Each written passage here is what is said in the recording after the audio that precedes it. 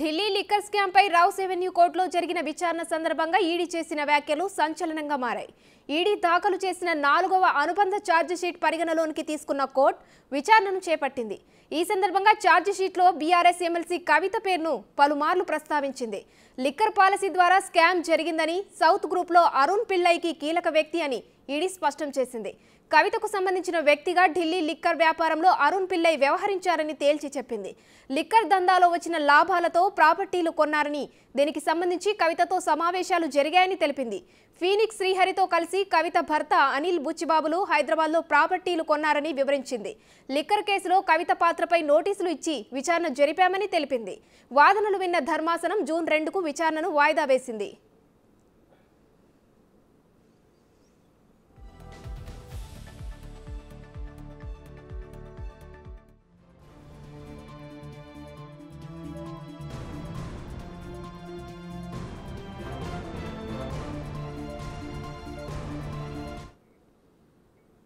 Delhi liquor scam పై Rouse Avenue కోర్టులో జరిగిన విచారణ సందర్భంగా ఈడీ చేసిన వ్యాఖ్యలు సంచలనంగా మారాయి. ఇక ఇదే అంశానికి సంబంధించి మరింత సమాచారం ఢిల్లీ నుంచి మా ప్రతినిధి శివ అందిస్తారు. శివ ఇప్పటికే ఈడీ దాఖలు చేసిన పిటిషన్లో పలుమార్లు కవిత పేరు కూడా రావడం జరిగింది. మరి ఇప్పుడు దీనిపై కవిత స్పందించి ఏమైనా మాట్లాడే అవకాశం ఉందా? మరొకసారి కవితకు నోటీసులు ఇచ్చే అవకాశాలు ఏమైనా కనబడుతున్నాయా ఆ, రైట్ ఒమాక ఆ, మనీష్ సిసోడికి సంబంధించి ఈడీ నాలుగవ అనుబంధ షార్ట్షీట్ను దాఖలు చేసింది. రెండు వేల పేజీలతో అనుబంధ షార్ట్షీట్ దానిలో రెండు వందల డెబ్బై పత్రాలు ప్రధాన పత్రాలతో ఈడీ షార్ట్షీట్ దాఖలు చేసింది. దాన్ని ఈరోజు రౌజ్ రెవెన్యూ ప్రత్యేక కోర్టు పరిగణనలోకి తీసుకుంది. అయితే ఈ అభియోగాల్లో గతంలో ఏవైతే కవితపై అభియోగాలు నమోదు చేశారో అవే అభియోగాలను మళ్ళీ నమోదు చేశారో. రొటీన్గానే అభియోగాలు నమోదు చేశారు. కొత్తగా ఇటువంటి కొత్త విషయాలైతే దీంట్లో ఈడీ అధికారులు నమోదు చేయలేదు. ఇక ప్రధానంగా ఆమ్ ఆద్మీ పార్టీకి సంబంధించి మాజీ ఉప ముఖ్యమంత్రి ఎవరైతే ఉన్నారో మనీష్ సిసోడియాకు సంబంధించి ప్రధానంగా దీంట్లో ప్రధానంగా అభియోగాలు నమోదు చేశారు.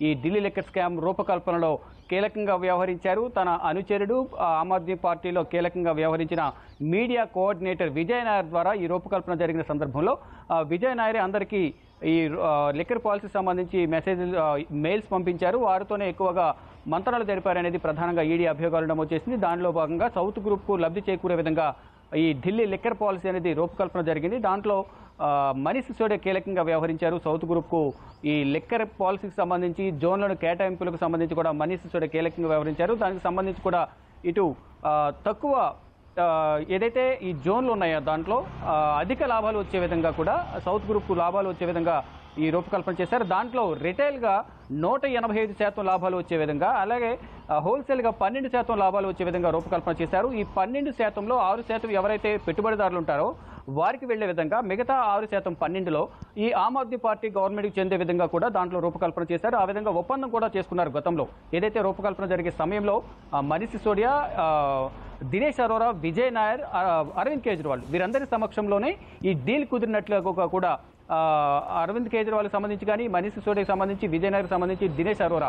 ఈ దినేష్ అరోరా అప్రూవర్గా మారిన సందర్భంలో మొత్తం అందరి ఈ సంబంధించి ఎవరెవరితో చర్చలు జరిపారో ఆ డీటెయిల్స్ అని కూడా దినేష్ అరోరా తన వాంగ్మూలం ఇచ్చారు. అప్రూవర్గా మారిన సందర్భంలో ఇక దానికి సంబంధించి ఎవరైతే ఢిల్లీ లెక్క స్కామ్లో ఇన్వాల్వ్ అయి ఉన్నారో ఎవరెవరు ముడుపులు చెల్లించారో దానికి సంబంధించి దినేష్ అరోరా ఈడీ వద్ద తన ఆ వాంగ్మూలం ఇచ్చారు. అప్రూవర్గా మారిన సందర్భంలో ఆ నేపథ్యంలోనే అందరికీ నోటీసులు జారీ చేశారు. One by one.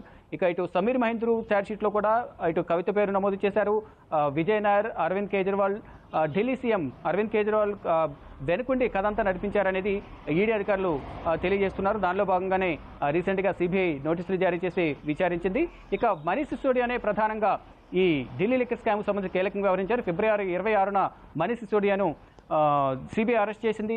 అరెస్ట్ చేసిన తర్వాత జ్యుడిషియల్ జ్యుడిషియల్ కస్టడీకి పంపించారు. జ్యుడిషియల్ కస్టడీకి పంపించిన తర్వాత ఈడీ మూడు రోజులు తీహార్ జైలును విచారించిన అనంతరం మళ్ళీ ఒకసారి ఈడీ అధికారులు కూడా అదుపులో తీసుకున్నారు. ఇప్పుడు రెండు కేసుల్లో కూడా ఇటు Delhi liquor scam money ED money laundering case మరోవైపు సిబిఐ కేసులో రెండు కేసుల్లో కూడా తీహార్ జైలులో ఉన్నారు మనీష్ సిసోడియా. ఇక దానికి సంబంధించి బెయిల్కు సంబంధించి ప్రయత్నాలు కొనసాగుతున్నాయి. ప్రయత్నాలు కొనసాగుతున్న సందర్భంలో మే నాలుగవ తేదీన ఈడీ అధికారులు నాలుగో అదనపు షీట్ను దాఖలు చేశారు. ఇటు మనీష్ సిసోడియా అలాగే అమన్దీప్ దాల్ను ఉద్దేశించి ఈ షీట్ దాఖలు చేశారు. ప్రధానమైన అభియోగాలన్నీ మనీష్ సిసోడియా పైన ఈడీ అధికారులు నమోదు చేశారు. ఆ, దా- ఆ నేపథ్యంలోనే ఇటు సిబిఐ అధికారులు కూడా బెయిల్ను తిరస్కరించే విధంగా ఆదేశాలు ఇవ్వాలంటూ ఢిల్లీ హైకోర్టులో ఈరోజు వాదనలు వినిపించారు. అయితే బెయిల్ పిటిషన్ తిరస్కరించారు. ఇక మొత్తంగా చూసుకుంటే గతంలో ఏవైతే సాక్ష్యాధారాలు ఉన్నాయో సాక్ష్యాలన్నీ కూడా మనీష్ సిసోడియా ధ్వంసం చేశారు. దాదాపు నలభై రెండు సిమ్ కార్డులు వాడారు. అనేక ఫోన్లు వాడారు. అవన్నీ కూడా తన అనుచరులు పిఎల ద్వారా వారి పేర్ల మీదుగా అవి వాడి వాటిని ధ్వంసం చేశారు. ఆ నేపథ్యంలోనే అది దా- ఆధారాలని రికవరీ చేయలేకపోయామనేది ఈడీ అధికారులు తమ వాదనగా చెప్తున్నారు. అయితే ఎవరెవరి పేర్ల మీద ఈ సిమ్ కార్డులు తీసుకున్నారు? ఎవరెవరి ఫోన్ల పేర్ల మీద ఈ ఫోన్లు వాడారనే దానిపై కూడా వారందరికీ కూడా గతంలో నోటీసులు జారీ చేశారు. వారందరిని విచారించారు. వారు ఇచ్చిన సమాచారం మేరకు కూడా మరికోసారి మరొకసారి ఇటు సిబిఐ అధికారులు కానీ ఈడీ అధికారులుగా మనీష్ సిసోడిని విచారించారు. ఇక మొత్తంగా చూసుకుంటే ఈ ఢిల్లీ లెక్కర్ పాలసీకి సంబంధించి కీలకంగా వ్యవహరించారు. మరియు సౌత్ గ్రూప్ లాభం చేకూర్చే విధంగా లెక్కర్ పాలసీ రూపకల్పన జరిగింది. ఇక గతంలో కవితకు లెక్కర్ పాలసీకి సంబంధించి విజయనాయర్ కవిత పలుమార్లు సమావేశమయ్యారు. ఈ సమావేశంలో అరుణ్ రామచంద్రపల్లె బుచ్చిబాబు వీరందరూ కూడా మాగుంటారు రాఘవ శరత్చంద్రారెడ్డి వీరందరూ కూడా హైదరాబాద్లోని ఇటు ఢిల్లీలోని ప్రముఖ హోటల్లో సమావేశమయ్యారు.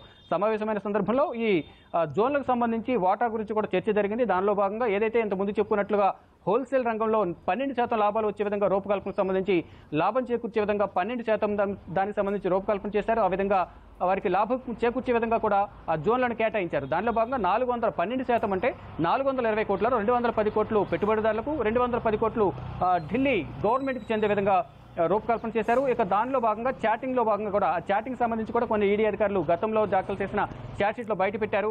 ఆ చాటింగ్లో కూడా ఆ, డీకోడ్ చేసి మాట్లాడుకున్నారు ఒక కోడింగ్తో ఇటు విజయ్ నాయర్ కానీ సమీర్ మహేంద్రు ఇటు కవితకు సంబంధించి కూడా. అంటే ముందుగా ఒక వంద కోట్లు తమకు ఇవ్వాలంటూ కూడా ముందు విజయ్ నాయర్ అడిగినట్లుగా కూడా ఆ కానీ ఇటు ఈడీ అధికారులు తెలియజేసిన చాట్ కూడా నమోదు చేశారు అభియోగాలు నమోదు చేశారు. అయితే వంద కోట్లు అయితే ఈడీ అధికారులు అందజేసినట్టుగా అభియోగాలు నమోదు చేశారు. దానిలో భాగంగానే వంద కోట్లు ఆ, విజయ్ నాయర్కు సౌత్ గ్రూప్ నుంచి వెళ్ళాయి. దానిలో కవిత శరత్చంద్రారెడ్డి మాగుంట రాఘవరెడ్డి కీలకంగా వ్యవహరించారు అంటూ కూడా ఈడీ అధికారులు నమోదు చేశారు. ఆ వంద కోట్లను ఇటు గోవాలో ఎన్ని ఎన్నికలు జరిగిన సందర్భంలో ఆమ్ ఆద్మీ పార్టీ దాన్ని వినియోగించారు. ఆ, పార్టీ కార్యక్రమాలకు వాడారనేది ప్రధానంగా ఈడీ అధికారులు ఆరోపిస్తున్న ఆరోపిస్తున్న అభియోగాలు కానీ ఇటు ఈడీ షార్ట్షీట్లో దాఖలు చేసిన అభియోగాలుగా మనకు తెలుస్తోంది. ఇక మొత్తంగా చూసుకుంటే ప్రధానంగా ఈ ఛార్జ్షీట్లో మనీ సిసోడియాని ప్రధాన నిందితుడిగా ఉన్నారు. ఈ నేపథ్యంలోనే రీసెంట్గా సిబిఐ అధికారులు మనీ సిసోడియా పూర్వపు పిఏకి పాత పిఏకి కూడా అరవింద్ సింగ్ అని మరికొంతమంది కొన్ని నోటీసులు జారీ చేశారు. దానిలో భాగంగా అతను విచారిస్తున్నట్టుగా తెలుస్తోంది.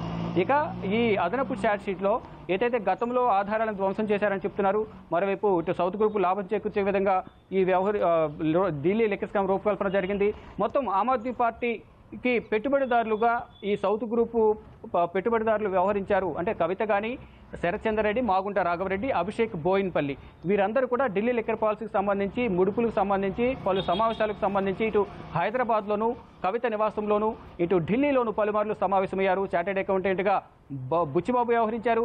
కవితకు మధ్యవర్తిగా బినామీగా అరుణ్ రామచంద్ర పిల్లై వ్యవహరించారనేది ప్రధానంగా ఈడీ అధికారులు ఆ, ఛార్జ్షీట్లలో నమోదు చేశారు. దానిలో భాగంగానే ఈరోజు అరుణ్ రామచంద్ర పిల్లైకి సంబంధించిన బెయిల్ పిటిషన్పై కూడా విచారణ కొనసాగింది. విచారణ కొనసాగిన సందర్భంలో ఈడీ విచారణలో ఈ వాదనల సందర్భంగా కూడా కవిత పేరు ప్రస్తావన వచ్చింది. ఛార్జ్షీట్కి సంబంధించి మరోవైపు ఇటు అరుణ్ రామచంద్ర పిల్లై బెయిల్కి సంబంధించి కూడా మరొకసారి ప్రస్తావన వచ్చింది. ప్రస్తావన వచ్చిన సందర్భంలో ఏదైతే ఈ పెట్టుబడిదారులు ఈ లెక్కర్ స్కామ్లో వచ్చిన ఆదాయంతో హైదరాబాద్లో అరుణ్ రామచంద్ర పిల్లై అలాగే ఆ కవిత భర్త అనిల్ ప్రాపర్టీలు పెద్ద మొత్తంలో కొనుగోలు చేశారనేది ఈడీ అధికారులు అభియోగాలు నమోదు చేశారు. ఈ ఛార్జ్షీట్ దాఖలు చేసిన నేపథ్యంలోనూ మరోవైపు ఈరోజు అరుణ్ రామచంద్ర పిల్లకి సంబంధించిన ఏదైతే బెయిల్ పిటిషన్ సంబంధించి కూడా వాదనలు జరిగిన సందర్భంలో ఈడీ తరపున వాదనలు వినిపించారు. ఇక ఇరువురు వాదనలు విన్న అనంతరం అయితే మొదట ఈడీ అధికారులు వాదనలు విన్నారు. వారి వాదనలు విన్న తర్వాత సిబిఐ అధికారులు ఇటు అరుణ్ రామచంద్ర పిల్ల తరపున వాదనలు వినాలని కోరిన నేపథ్యంలో గతంలో చెప్పినవి మీరు మళ్ళీ చెప్తారు. ఇక దీన్ని మళ్ళీ వాయిదా వేసినట్లు కూడా తెలి- తెలిపిన పరిస్థితి అయితే